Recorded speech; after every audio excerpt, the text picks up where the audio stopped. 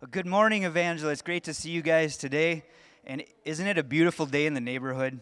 I had to say that because somebody made a nice comment about my sweet sweater that my wife got me. So, hey, we are so glad that you are here with us at Evangel, and uh, it's just great to gather together as a church this morning. We want to give a, a warm welcome to those out there on Facebook.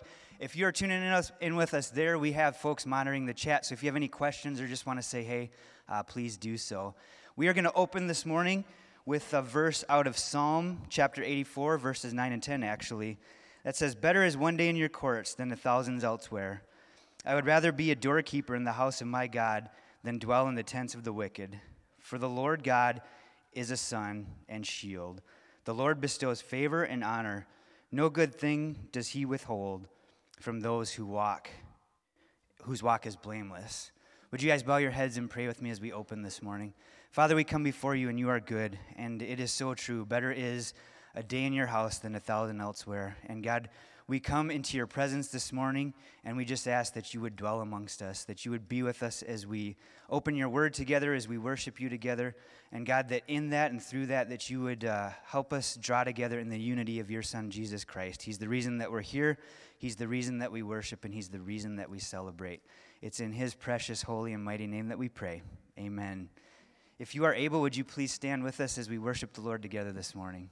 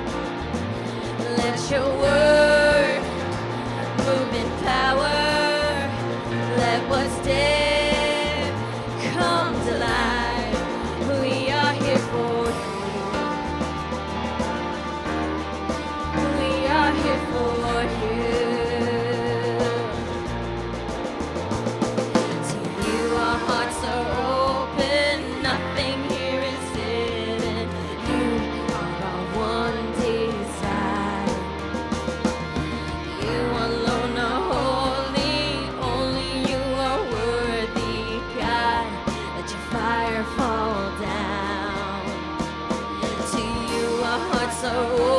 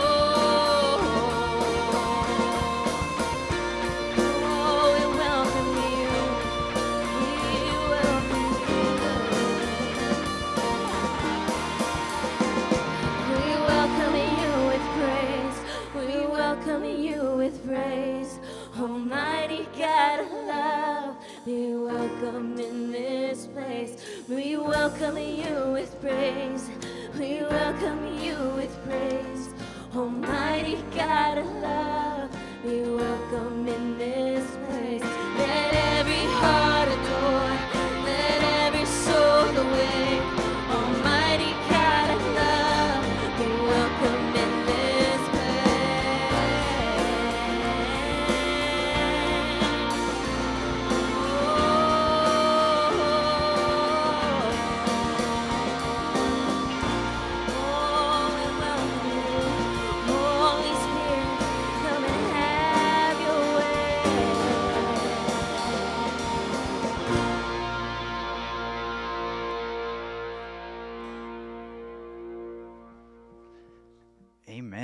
guys can have a seat for a second while we go over announcements here, real quick.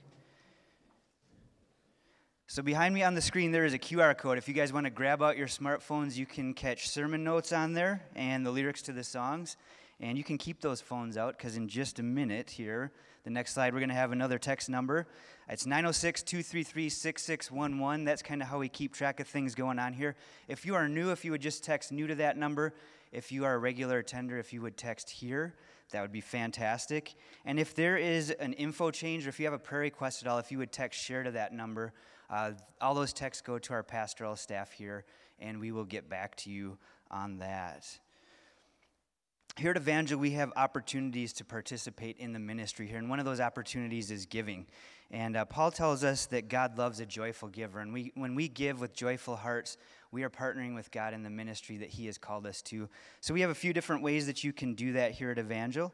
Uh, you can keep your smartphone out there and you can text ECH Give to number 77977. We have some boxes in the back that you could drop your offering in back there. Or you can go to the website and uh, just click on the Give tab there and follow the instructions. We are starting a new sermon series next week called When Worlds Collide. And uh, we're going to look at, or when kingdoms collide, excuse me. Uh, and we're going to look at what it looks like when we live in the kingdom of God of the here and now and how that collides with the world that we live in.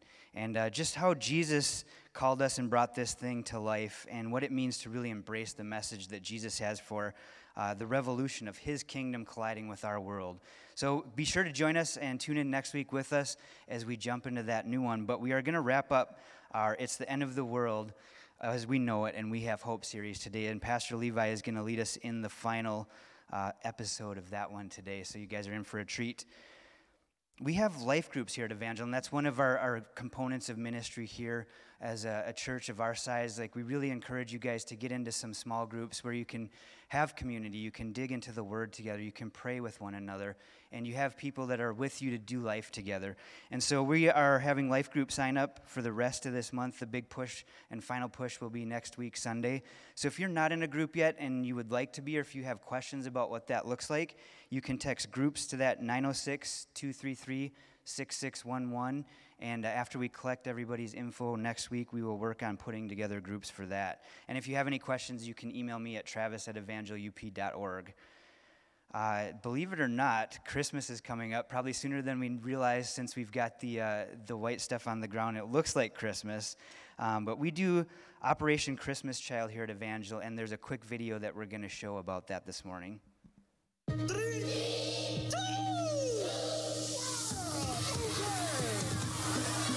Count of three, when children open the shoe boxes, they're so excited. I mean, it's just been incredible. Kids are so excited. Giving them a gift, do it in Jesus' name, and that's what this is all about. Jesus loves you. It's a gospel opportunity. It's the chance for the children to change the entire life. The word of God is spreading. The gospel is advancing. It is impacting children.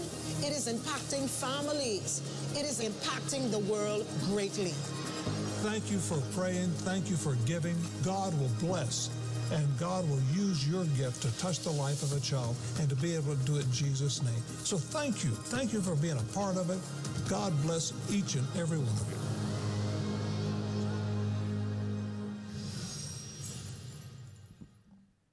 So if you haven't done a box for Operation Christmas Child before, it's a lot of fun. My kids love to do it. It, it really rings in the season. And we've got boxes out at the Welcome Center. You can grab those. The important date to note is that they need to be returned here by November 8th. And if you have any questions, you can email the office at office at evangelup.org. Uh, Awana clubs are starting up online this year, uh, Wednesday, October 21st. So the hope and the plan is to transition back to in-person gatherings at the first of the year. And to register, you can go to evangelup.org backslash Awana, and you can pick up the materials starting today at the Welcome Center uh, or at Monday, October 19th from 6 to 7 here at the church. And that's going to be a drive-by pickup, so it'll be right at the entrance. You don't even have to get out of your car or anything like that, so it's going to be super convenient. And if you have any questions, you can email Nate at evangelup.org. We have a slight change in the schedule. We've got our family mi- business meeting coming up. Uh, it's slated for November 1st. That's a date change at 6 p.m. here at the church. Uh, if you want to learn about what's going on, that's where you can come and find out.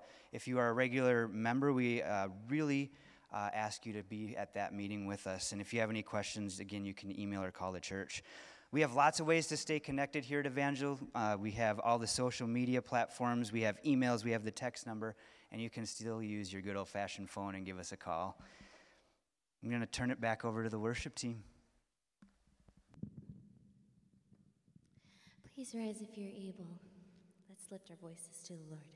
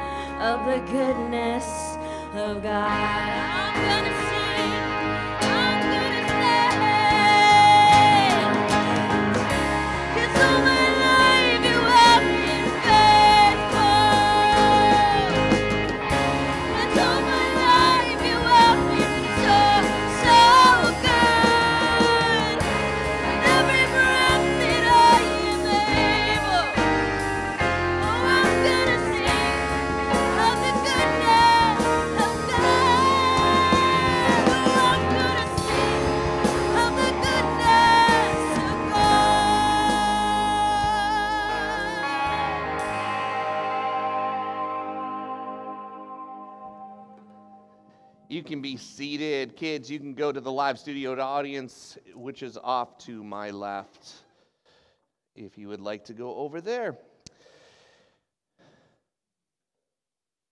Well, this is our last installment of uh, It's the End of the World as we know it, and I have hope. And if you have your Bibles, you can turn to Revelations chapter 21.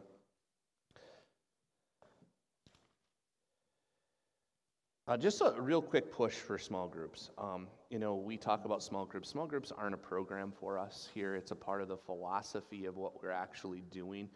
Um, the sermon, we say this often, the sermon is not the point. The sermon is the push toward transformation. All of our small groups are designed for you to go in and to dig a little bit deeper, to ask some of those questions that we're asking in here, to wrestle with some of what God has to say for us um, as a community. And we really believe, as God's people open the Word of God together, that change happens That's where the change agent is, is as the Spirit is allowed to speak into our lives and to move us and to change us. So if you're not a part of a small group, we really just encourage you to do that. Um, it's a part of uh, what we will tell you uh, is really good for you to be in community that way, to be opening the Word of God together. Before we get started uh, with our, our gathering of opening the Word of God together, let's just pray. Father, we come. Thank you for this time that we have just to be together to open your word. We ask that you would bless it, that your spirit would be able to move, that we would we would see just a piece of your goodness. God, to think that you're running after us, that we didn't run towards you, but you ran after us. We're, we're thankful for that. We're thankful for your son, Jesus, who, who gave it all for us. And uh, we just want to lift his name up today. We hope we do that well, that it pleases you. In Jesus' name, amen. It's the end of the world as we know it and I have hope. This has been a kind of a short survey of the book of Revelation. There's a lot more in here that you can read on your own. We just continue to encourage you uh, to, to read through this. The Bible says that those who read, those who hear, uh, you will be blessed uh, for the reading and the understanding of this book. And uh, so we want to just kind of walk through this last time together. And this book, as you remember it, the book is designed to give the church hope. The book is about Jesus. It starts with Jesus and it will end with Jesus. And, and, so, what we're going to do is we're going to be looking at kind of those last two chapters of Revelation. If you have not read this or you don't know this, I'm about to give you a spoiler alert. Um, the end of the world happens, and guess who wins? Um, plug your ears if you don't want to know if you're still reading through this, is Jesus. Um, Jesus wins in this thing, and Jesus will reign. Jesus will be the King of Kings. He will be the Lord of Lords. And every nation, every tongue, every person will bow down to him. And uh, this is what the scripture indicates to us, and we will be with him forever and ever and ever. And it's going to be awesome, and it's going to be incredible. Um, but Jesus wins, and that's what we're going to be looking at just a little bit uh, of that today. The Bible starts off with uh, the book of Genesis, the beginning.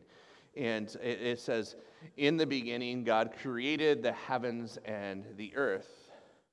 And, and, so we have this idea of creation. God created how he did that. We're not here to argue that today, but um, I, I, don't know how he did it, but he did it with the words of his mouth and the very power of his mouth is what the scripture say, that he, he spoke it into existence. So God created the heavens and the earth. That's how the Bible starts. The Bible ends with something just a little bit different.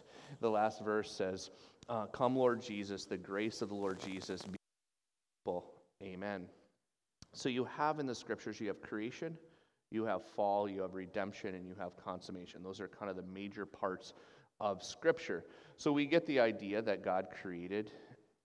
We get the idea, hopefully, that we've all sinned and fallen short of the glory of God, that there's been a fall, that we've walked away from God, that we are rebels to Him. Uh, we have redemption. Well, how does redemption work? How does redemption work? In the Old Testament, God gives his people, his chosen people, he gives them the law. And the law was given for God's moral precepts. It was how you were to live as a human, and they were to follow the law by faith. And uh, what the purpose of the law was um, was to give some of the rules. This is how you're supposed to live. This is how I want you to operate. This is how I want you to live, so that you will bless other nations. That was the commitment to God's people back then that they were supposed to do that. There is a secondary purpose, though, to the law, and the secondary purpose to the law was to make us aware of sin and our inability to be righteous. If you look at Romans 3:20, it says, "Therefore no one will be declared righteous in his sight by observing the law." These are the rules, these are the moral precepts. Um, rather, through the law, we become conscious of sin. We become aware of our sinful nature, that we can't live up to this, that we can't earn our way to God. And so it goes on. Um, our, our Old Testament Jewish cousins, um, they, they worked out and worked on this concept of living out the law in their lives, adhering to the law. Um, but did they believe this is a question Did they believe that this was enough to provide righteousness for them? And the simple answer to that is no, they didn't believe that. They didn't believe that that was going to provide righteousness for them, that that would earn their way to God. Um, they actually believed that there was a Messiah, there was an anointed one, there was one coming. Uh, he was a chosen one, and they believed in that by faith. Um, but the law wasn't designed to pardon their sins. And they understood that. They did not believe that it was going to pardon their sins um, and, and, earn their way back to God by following the law. They just believed that, hey, this is the very, this God told us to do it, so we're going to do it, right? We're going to live this out. What they understood was the sacrifice of animals and uh, the day of atonement, the day of reckoning, the day of redemption, the day of redeeming, um, that, that their sins would be, be covered. Yom Kippur. Um, this is the day the high priest would go into the Holy of Holies and he would spread the blood of the animal there. And uh, it was an offering for the sins of the people if the people could earn their way back to heaven in the Old Testament by following the law, they would have done that. But they knew and they understood that there had to be a sacrifice. There had to be something more than that. They understood there needed to be a sacrifice for that to happen. Uh, Leviticus chapter 17 and verse 11. For the life of a creature is in the blood, and I have given it to you to make atonement for yourselves, to cover your sins for on the altar. It is the blood that makes atonement for one's life. And so there had to be blood that was shed. Um, in Hebrews, it talks about this. It says, when Christ came as the high priest, notice this idea of high priest. This is the guy who goes into the Holy of Holies. He, he speaks for the people. He's the one who, who atones for the sins of the people in the Old Testament. So Jesus becomes our high priest. When he came as the high priest, of the good things that are already here. He went through the greater and more perfect tabernacle that is not man made. That is to say, not a part of this creation. And so there's a different type of thing that Jesus was going through. He was going through a different type of tabernacle, uh, an eternal tabernacle. Next slide. He did not enter by means of the blood of goats and calves. This is, this is how the high priest in the Old Testament did. They would go through um, and into the Holy of Holies through the eh, shedding of blood of the animals, but he entered the most holy place once for all by his own blood, having obtained eternal redemption. And so Jesus becomes the Lamb of God, or he is the Lamb of God. He doesn't become it, he is the Lamb of God. Um, in fact, the law requires this is the, in Hebrews 9:22. In fact, the law requires that nearly everything be cleansed with the blood, and without the shedding of blood, there is no forgiveness. And so it's not just following; it's not earning our way back to. Um, in, in John 1:17, it says, "For the law was given through Moses." So for Jewish people at this point, Moses is the greatest character of the Scripture because the law was given to them. This is how you're supposed to live. Um, but Jesus comes and he comes with grace and truth. And he came, and that came through him. And what did that tell us? That we are men and women that are in need of a Savior, that we need redemption, that we need uh, the Lamb of God. We need his blood to cover our sins. The laws, the rules were given through Moses, but Jesus taught you are a people who are in need of a Savior, and he gives his life for you and I. He gave us grace and truth. He said, You're sinners. Repent, for the kingdom of God is near. And so there is this truth, but there's also this grace. He gave us a way out of it.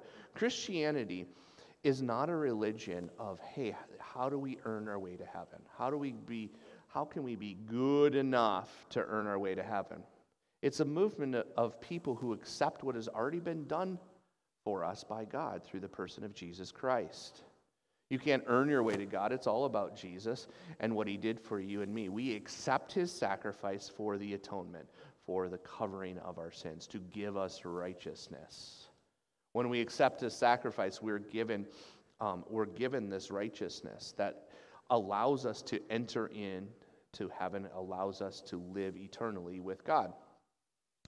Um, I don't want to try to get my atonement and we've talked through this in this series. I don't want to get, try to get my atonement through my behavior, right? We don't get our, our atonement through our behavior, we get it through our Savior, right? So when we get to heaven, And uh, I, I, I, don't, uh, uh, the final judgment, God will not be looking at me with eyes of evaluation of my behavior, but He's going to be looking at the transformation that has taken pl- place because of my Savior, who is Jesus.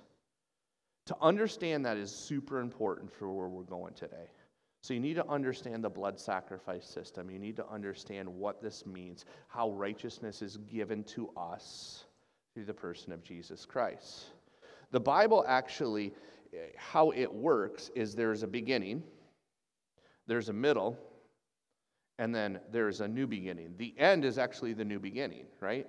It's a new beginning that we're, we're walking into. And that's what we're going to be looking at today is this new beginning. So the end of Scripture is just a beginning. It's a new beginning. The Bible tells us that Jesus will make all things new. He's going to win and he's going to wipe out all evil for all time. Jesus is the King of Kings. He is the Lord of Lords, and He has that power to do that. When Jesus came to earth the first time, He came as a little baby, and uh, He came in a manger. But on the second time, we've talked about this, He's not coming like that, is He? He's not coming as, you know, 8.6 ounce little baby in a manger. That's not how he's coming. He's coming as warrior. He's coming. And, uh, he's going to be riding a horse and, and faithful and true, and there's going to be armies behind him. Do you remember this? And what are these armies going to be dressed in? Are they going to be in army green? No, they're going to be in white. Why are they going to be in white? Because they ain't getting dirty, right? Jesus is going to come down and he's going to throw down, and, and it's going to be all over because he's Jesus. It's going to be from the very words of his mouth that this is going to, to change things. They're not, we're not going to even get dirty. And Jesus is going to come down, he's going to, to make all things new. The book of Revelation is a book of hope. It's a hope because Jesus is going to win. Jesus is good and he's gracious and, and he, he's going to defeat all evil. If you are a follower of Jesus, this book is a book of hope. Let's look at what the scriptures tell us in chapter 21 it says this Then I saw a new heaven and new earth, for the first heaven and the first earth was passed away, and there was no longer any sea. I saw the holy city, the new Jerusalem, coming down out of heaven from God, prepared as a bride, beautifully dressed for her husband. And I heard a loud voice from the throne saying, Look, God's dwelling place is now among the people, and he will dwell with them. They will be his people, and God himself will be with them and be their God. He will wipe every tear from their eyes. There will be no more death, or mourning, or crying, or pain, for the old order of things has passed away. He who was seated on the throne said, I am making everything new. Then he said, Write this down, for these words are trustworthy and true. He said to me, It is done. I am the Alpha and the Omega, the beginning and the end. To the thirsty, I will give water without cost from the spring of the water of life. In this chapter talks about heaven. It's interesting right from the very beginning of it, it, you take a look at it, we, we, we don't actually reside. Think about this. We don't actually reside in heaven forever.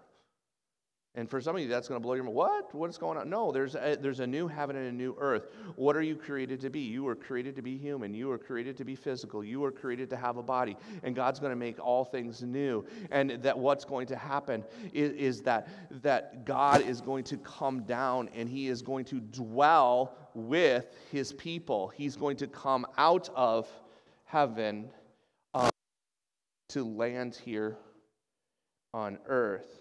Sometimes when the Bible talks about heaven, it talks about this new heaven and new earth. It doesn't mean that there's going to be like a new heaven where God dwells and there's going to be angels and things. Really, what that's talking about is atmosphere. Um, and there's going to be a new atmosphere, and there's going to be something, and I'll explain this in just a moment. Um, there's going to be a new physical world in which we live in and dwell in. The, the great thing about this, if you jump down to verse 3, where God is dwell, his dwelling place is, his dwelling place is with his people. See, we look at, and if you read this whole chapter, it's going to talk about pearly gates. There's a lot of bling in heaven pearly gates, golden streets, mansions, awesome things, right? And you go, wow, heaven's awesome. Heaven isn't awesome because of pearly gates and gold streets. Gold, it means that the gold, uh, there's no value to it. That's why they put it on the ground, right? It's not valuable at that point. The value of heaven and the value uh, of heaven always is that God is there and we're with Him. That's what it makes it heaven. And so when he comes down and he dwells with his people, this is kind of the last thing. This is the completion of, and, he's going to dwell with his people. And, it's going to be awesome. And the reason it's going to be awesome, it's not because of all the bling that's going to be there, it's because God is there. And he dwells with his people. See, God created the heaven and earth. And all the way back in Genesis, right at the beginning, if you read the early account of man, of Adam and Eve, and they're walking and they're talking and they're meeting and they're dwelling with God. And it's amazing and it's awesome. And then they choose to rebel against what God told them to do. And all hell breaks loose. And sin and, and death and destruction comes into the world. Well, that's going to be no more when God is dwelling with us. And this whole time, so you have the beginning, you have creation, you have fall, and then you have the middle. It's this working toward redemption. It's working toward redeeming. It's working toward this new earth, this new creation, where God is dwelling with his people, where God is connected to his people in, the, in, in a better way than he was even in the first part. But that, that's the connection part. Whether you realize this or not, the deepest longing of your soul and my soul is to be connected to God in this way, that He dwell with us. You and I are created to be with God. And so we're created this way, and it's going to be this way. The city comes down out of heaven in the book, and uh, we're not going to read this part, but it's really interesting. It's like 14 or 1500 miles wide, long, and high. It's pretty big, right? So, like, think from here to Orlando, Florida, that would be kind of 1,500 ish miles from us. Pretty crazy, right? Pretty big. And then it goes all the way west. But then it goes high. Uh, and, and, so it goes 1,500 miles high. I don't exactly know how that works. It seems like that would be out of the atmosphere, but there's a new heaven and then there's a new earth and there's new rules, right? And, and so if you think about that, if you take our world and you take each floor being 12 feet and it's 1,500 miles high, so your math people can kind of figure that out, um, it's 600 thousand floors will be in heaven. Um, so that's what that's what the new New Jerusalem, the new city, will be like six hundred thousand floors. That'll be a lot to discover and a lot to have fun with, right? For for that. Um, we don't exactly know how it's going to look. We do know a few things about heaven, though. We are about this New Jerusalem that there won't be lights there because the glory of God will be there and it will light the whole city. That's a pretty big light, right? Pretty big light that can light that, that big, huge cube up. Verse 4 it says, It will wipe every tear from their eyes. There will be no more death, or mourning, or crying, or pain. For the old order of things has passed away. This, this old order of the world groaning, the world, the world in destruction, the world in decay, it's not going to happen anymore. Uh, your car is not going to rust anymore. Uh, it's not going to be like that, right? What this passage says is that death will be dead. Death will be dead. It won't be anymore. This past week, I got an email saying that one of our friends, um, Richard Bazat, uh, passed away. I hate those emails. I hate those phone calls. Uh, I hate that, that. Even though Richard just went to sleep um, absent from the body, present with the Lord. I still don't like it. I'm, I can't wait to have it. Never, ever will I get another one of those phone calls.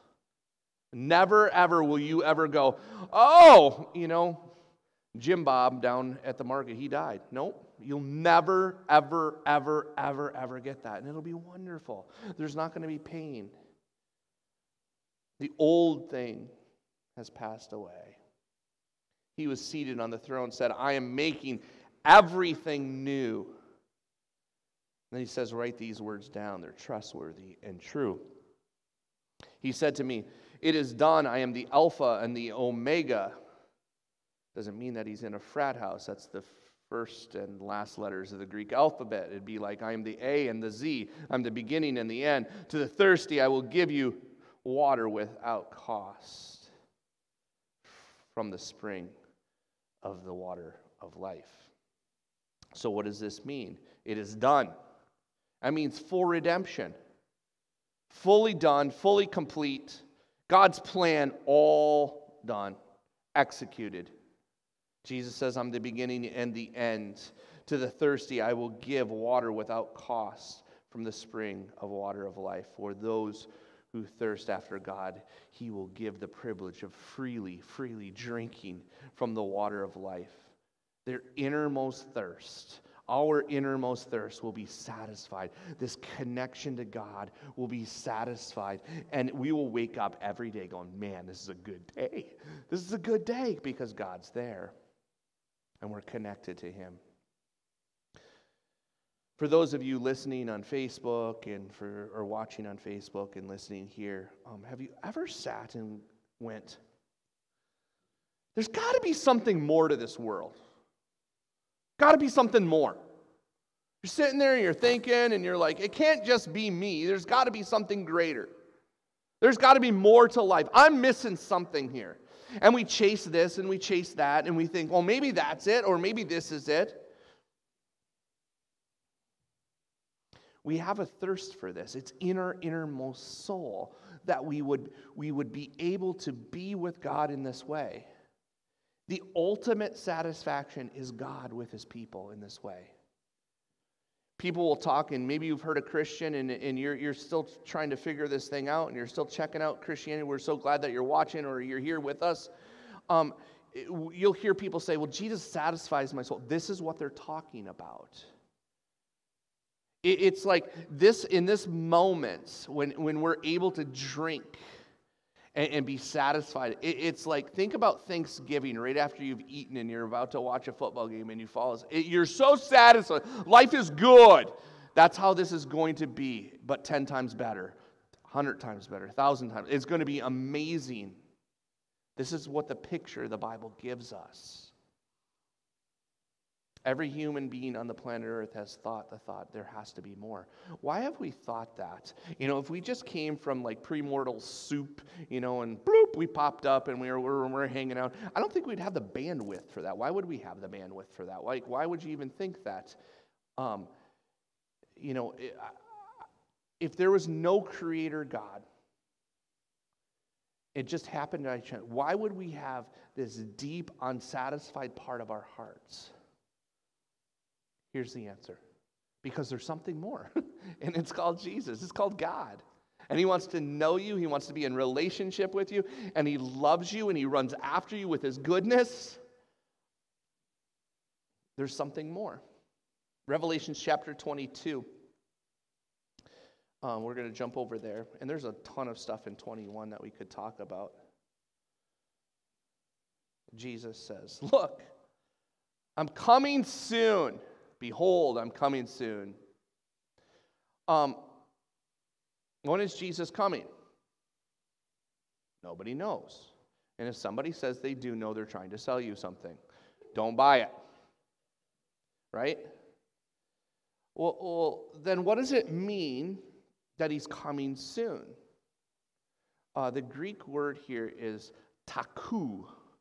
Um, and uh, it, it is kind of sounds Star Warsy, doesn't it? Taku. Um, and, and, so it, it's this this word that we get in the English language where we get tachometer. Um, it's that's that's our word we get out of that. It's a, it's a root word of that. And so think about a tachometer, how it, it works. It's you know you you put your car in park or whatever, and, and you push on the gas, and you see the the tachometer go. It's measuring the the energy that the, the engine is producing. And, and, and, so is going like that. And so think about it in this way. When it says he's coming soon, it, you know, we, we know that, that time is a little bit different for God than for us. But what we do know is that scriptures tell us that the earth is groaning or longing for this moment when Jesus comes back and everything is made right. And when he comes back, it's, it, it, it's, it says it's longing, it's groaning, it's revving up for this moment. The earth is going, mm, mm, like, come back, Jesus.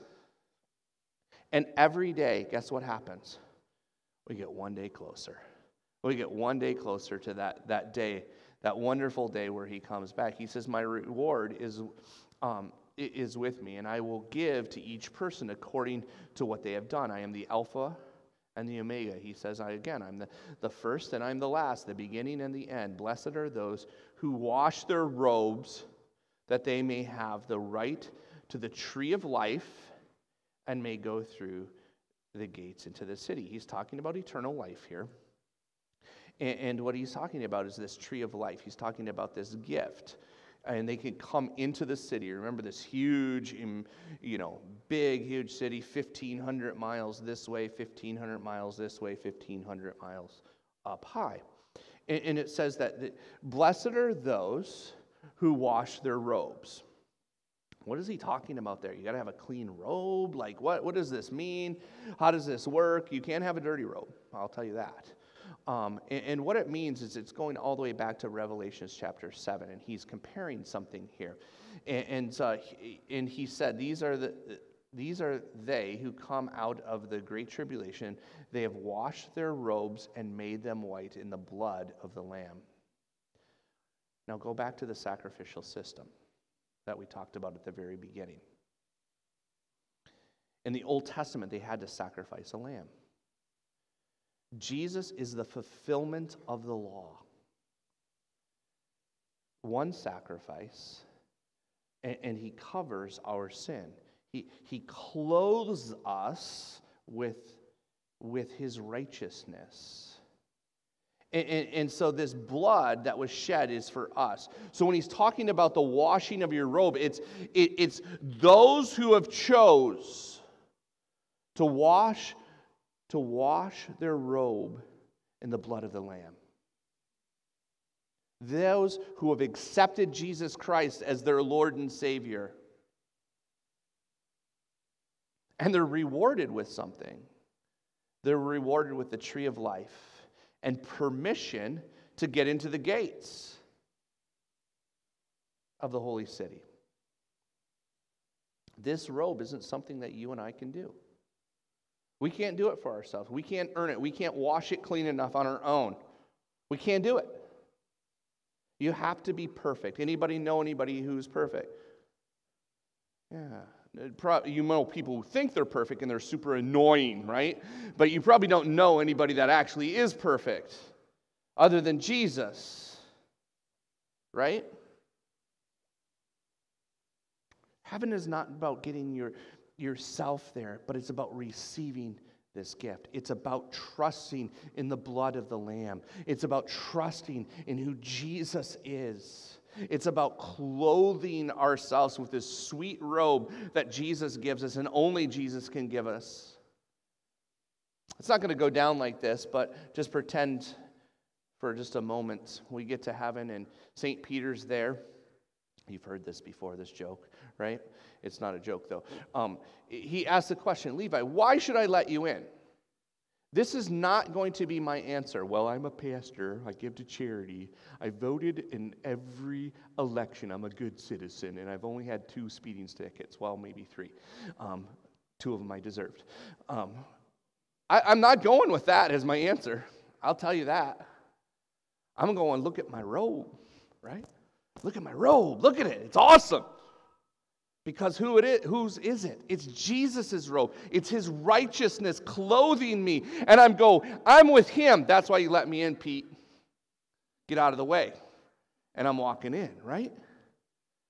It's because of Jesus. It's not be, my behavior. Uh-uh. My Savior? Oh, yeah, because He gave me a sweet robe. And if you've put your trust in Jesus, He gave you that robe too. You've washed. You've washed in the blood of the Lamb. Story of hope, folks. This book is a story of hope for the church. You're going to get to walk into those gates, the new heaven and new earth, this huge city where God dwells with his people. How awesome is that going to be? Pretty awesome, right? Verse 15. There's a sobering moment here. For those of you who, who try to wash your own robe, who say, I don't believe in Jesus, there's a sobering moment in verse 15. And this is what it says Outside are the dogs. This is not canines. These are people who have mocked the truth of Jesus. Those who practice magic arts, the sexually immoral, the murderers, the idolaters, and everyone who loves and practices falsehood. You might go, Well, I never mocked Jesus. I haven't been sexually immoral. I've never killed anybody. I don't worship little graven images or practice falsehood. So I should get in. Here's what the Bible says if you've trusted anything other than Jesus for the outcome, um, you probably have touched on magic arts, superstitions at some level. If you've lusted after anybody other, one, anybody other than your spouse, uh, the scriptures say that you're in the sexual immoral, immoral camp. The Bible says that if you lust in your heart is akin to adultery. You ever said, Man, I don't like that. I hate that person. Guess what, you murderer? That's what the Bible says. It's akin to it. You ever told a lie, a falsehood? Mm-hmm. Yep. Right? And you go, well, everyone's done that. Yeah, duh, that's what the Bible says. You've all sinned and fallen short of the glory of God. Me too. Me too. And you need to be washed. You need to be washed by the blood of the Lamb. You need to be washed, and He needs to give you this robe that's awesome. The very longing of our hearts is to be with God, it's in every person. The good news is that Jesus Christ came and he gave his life for you and me. That's the good news. That's the gospel. That he came and he told us the truth. You're sinners. You're rebellious. You're in rebellion to God. But guess what? I can bring you into relationship with him. I can do it through who I am. And, and then he goes to the cross and he dies for you and me. And his blood was shed, one sacrifice for all time, for all sin. Amazing, right? We don't get to earn our salvation because we can't earn our salvation. We get to receive our salvation. If you are trusting in your behavior for your salvation, you will lose. You don't trust in your behavior, you trust in your Savior, right? For those of you who have received Jesus, this is a book of hope. It's so wonderful. It's so amazing. I hope you've been blessed by hearing the words that are written in this book because God promised that, number one. And number two, it's just awesome, right? Like it's going to be an incredible time when King Jesus comes back. It's going to be awesome. I, hope, I also hope it compels you to get out of the seats and to tell people the good news of Jesus Christ. If you truly believe this, there are people who are trusting in their behavior to earn their salvation, and that is not okay because guess what? Their name is not written in the book of life, it's in books. And if you're judged by the books, it's not good. We learned this a few weeks ago. You need to be in the book. And if you're in the book, you get the robe. And it's awesome. And you get to dwell with God forever and ever. You have friends, you have family members, you have neighbors, and you should be compelled to tell them the good news of Jesus Christ without apology. Because eternity matters.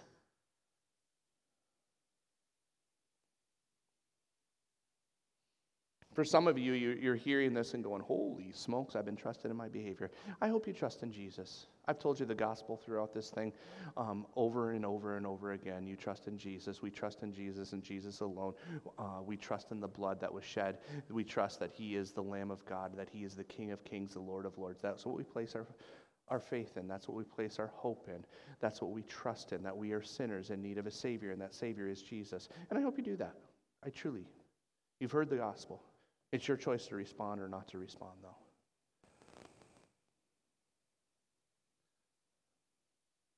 God's longing is that you would respond. That eh, eh, the scriptures, I, I, I love the Father's heart. The Father's heart is that no one would perish, but all would come to faith, that they would repent and come to faith. That's what He wants. He wants that for you, He wants that for me, because He absolutely loves you. Here's what the church cries and has been crying for every ge- generation it's the end of the world as we know it. But we have hope. Let's pray. Father, we come before you. We thank you for your son, Jesus. We recognize that without the shedding of blood, there is no remission of sin. God, we're just thankful that you chose to do that for us, that you chose us to show us grace and you chose to show us mercy uh, when we were rebels against you. There is no greater love that a man laid down his life for his friends, and Jesus did that for us. While we were enemies, Christ died for us. God, I can't imagine the sacrifice that was, the pain that you went through for that, but man, I'm so thankful for that. God, we're thankful that we can come boldly before your throne because of what Jesus did, our high priest. We're thankful that someday he is coming back and he will have a tattoo that says King of Kings and Lord of Lords, and we celebrate that. God, we recognize that we are not on the planning committee for that day, but we are on the welcoming committee. God, let us, let us be prepared for Jesus to come. Let us be anticipating that Jesus comes. Let us be crying out, Oh Lord Jesus, come, come soon. And let us live in light of what you've done and given to us. We pray this in Jesus' name. Amen.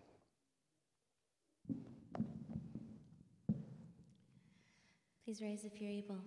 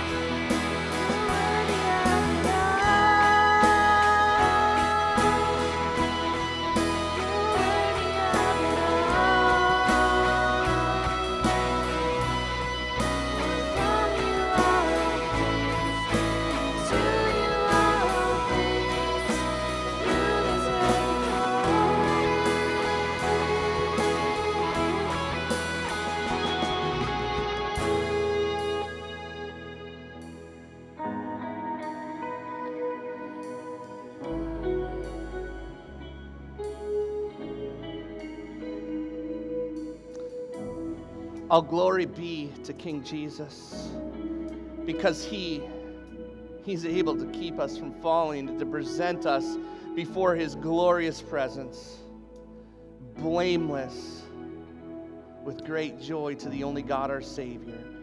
Be glory majesty power and authority through Jesus Christ our Lord before all ages now and forevermore. And all God's people said